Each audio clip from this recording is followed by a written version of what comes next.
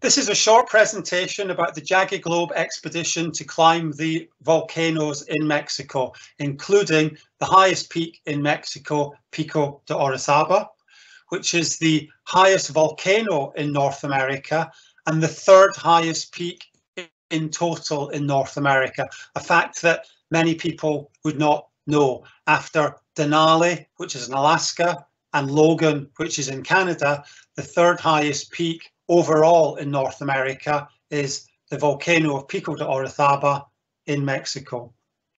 And this is the, the third and highest peak that we climb during this two-week expedition, which Jagged Globe has now been running for over a decade. It was first climbed in 1848 by two American soldiers, and is perhaps attempted by a couple of thousand people a year, most of whom will be local Mexicans.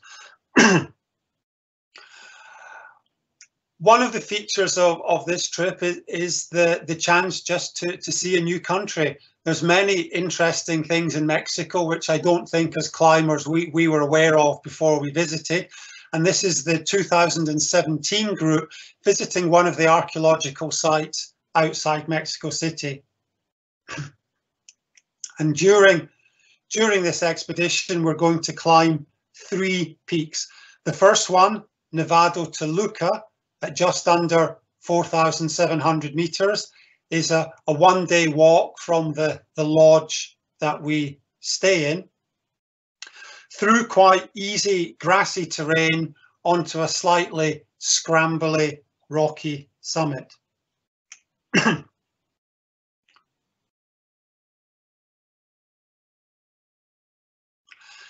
And we then travel to the other side of Mexico City where the, the highest peaks in the country are located, including Izta, the third highest peak in the country at 5,220 meters. We drive to the car park and then hike up to, to a camp at 4,400 meters. There is a hut that can be used, but it's often overcrowded. So, so we choose a route that uses this quiet campsite. And then on the summit day, starting before dawn, initially on moving on rocky terrain, watching the sunrise as we head up to the, the snowy summit slopes. Uh, Nowhere particularly difficult, no need for fixed ropes or for the team to rope together. Uh, walking with crampons on, on quite a hard snowy surface. Once we gain this undulating ridge, it takes a few hours to head along towards the summit. And uh, a slightly pixelated uh, phone picture of the whole group on the summit, 5,220 meters high and then retracing the route down that ridge.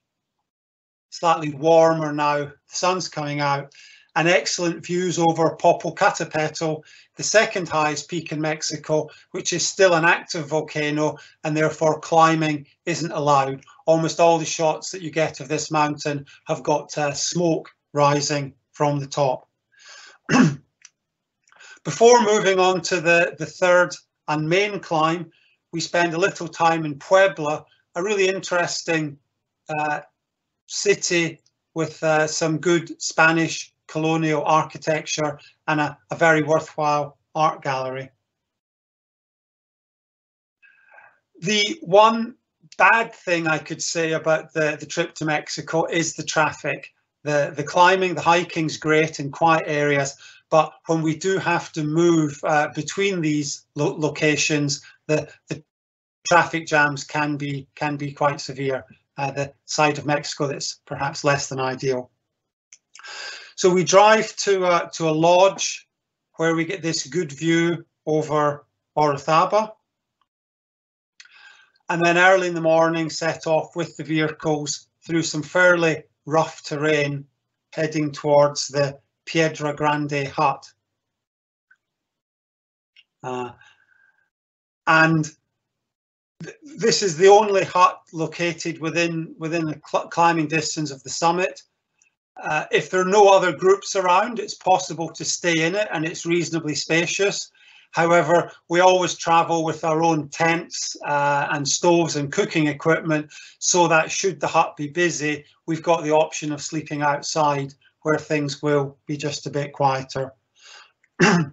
we do the first day we're there, we can do an acclimatization hike, just get familiar with uh, how the path leaves the hut and the first section of the climb towards the summit. And then when we do start on summit day, the, the time I was there, we started at 3 a.m. in the morning up these moderate angled slopes with a good view of the, the sunrise behind the peak of Orizaba, showing the throwing the shadow out towards the, the peaks we've been climbing previously. Uh, working with some local Mexican guides, we've divided the group up into a number of subgroups, traveling on quite small rope parties up these moderately steep slopes where when I was there, the snow was quite hard. So although, although not terribly steep, good crampon technique required to climb this ground safely. And that's why the, the local guides adopt quite a, a short rope technique so that should somebody slip, they, they're able to arrest them quite quickly. So zigzagging up these fairly uniform angled slopes uh, as the morning goes on, good views over the surrounding peaks.